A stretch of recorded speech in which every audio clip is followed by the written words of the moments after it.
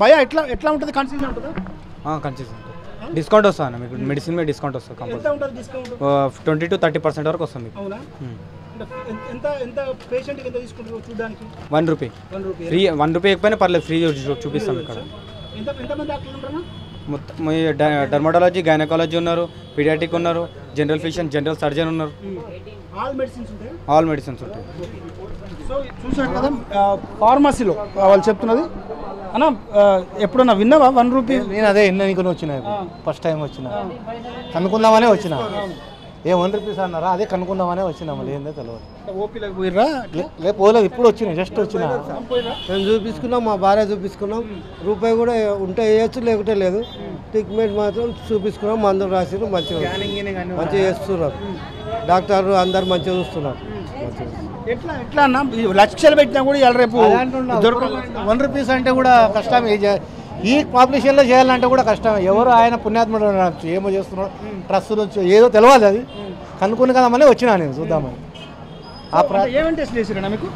మా భార్య చేసి అది ఆరోగ్యం బాగాలేకుంటే వచ్చి చూపించుకున్నాం డాక్టర్లు ఏమన్నారు? మరి మూడు రోజులు టాబ్లెట్ వాడండి మూడు రోజులు అయినాక మళ్ళీ రండి. అని చెప్పి. సో మొత్తానికి అది ఏది రూపాయి తీసుకున్నారు? ఆ రూపాయి కూడా మనం వేయాలి అంతే. వాళ్ళు ఏం తీసుకోరు. ఎంత- మీకు ఎంత తీసుకున్నారమ్మా? ఏ- ఏం లేదు క్యానింగ్ తీసుకుందామని వచ్చిన సార్ ఏం లేదు. తీసుకున్నారా? తీసుకోలే.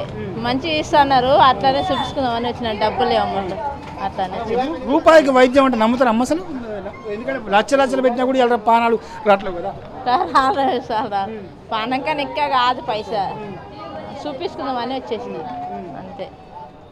సో ఇది ప్రస్తుతం మనం చూడొచ్చు గంగయ్య గారి హాస్పిటల్. మీరు మీరు పోయారమ్మా లోపలికి? పోలేం సార్ పోవాలా. అవును. రాపిచ్చినాం పేరు కానీ ఇంకా రాలేరు పిలుస్తా అన్నారు పిలిచినప్పుడు పోవాలి. ఎయిట్ నెంబర్ వచ్చింది one not eight one not eight number number నంబర్తో పంపిస్తుంది. నంబర్తో సీరియల్ నంబర్తో పంపిస్తుంది. ఇవాళ రేపు లక్షలు పెట్టినా కార్పొరేట్ హాస్పిటల్లో వైద్యం దొరకట్లేదు. ఒక రూపాయి అంటే ఎట్లా?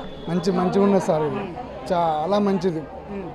మన పేదోళ్ళ కోసం మన- మంచి పని మంచిగా ఈ ఈ హాస్పిటల్ని చూసి ప్రభుత్వాలకు ఏం చెప్పదలుచుకున్నారు? ప్రభుత్వాలకు అదే ఇప్పుడు గవర్నమెంట్ ప్రైవేట్ హాస్పిటల్లో చాలా టూ మచ్ బిల్లు తీసుకుంటుంది. ఒక ఎక్స్రే మన స్కానింగ్ చేసిన అంటే ఐదు వేల నుంచి రెండు వేల దాకా తీసుకుంటుండ్రు. చాలా టూ మచ్ తీసుకుంటారు ప్రైవేట్లో.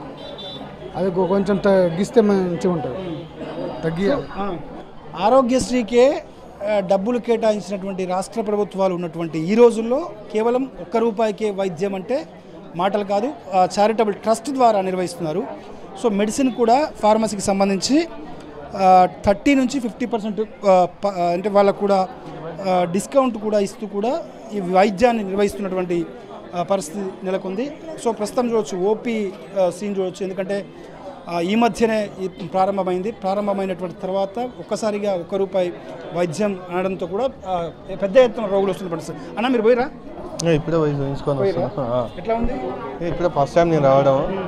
ఇది మనకి సర్జరీ డాక్టర్ వస్తారంటే సాయంత్రం సిక్స్ టు ఎయిట్ వరకు చూస్తారంటే ఆ టైంలో రామని చెప్పారు. వన్ రూపీ ఇచ్చాం.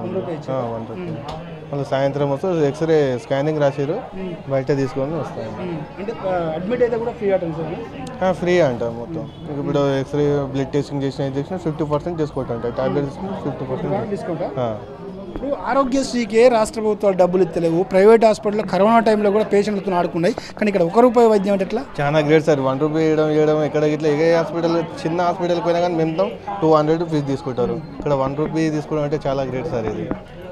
మాలా మాలాంటి గరీబ్ వాళ్ళకు ఎవరికైనా పేదవాళ్ళకు చూడాలంటే చాలా గ్రేట్ ఇది. ఈ స్కీమ్ పెట్టినందుకు చాలా బాగుంది ఇక్కడ. డాక్టర్లు మంచిగా చూసుకుంటారనా? మంచిగా చూస్తున్నాం ట్రీట్మెంట్ ఇట్లా మంచిగా ఎక్స్ప్లెయిన్ చేయడానికి ఇట్లా మంచిగా ఇస్తారు వాళ్ళు.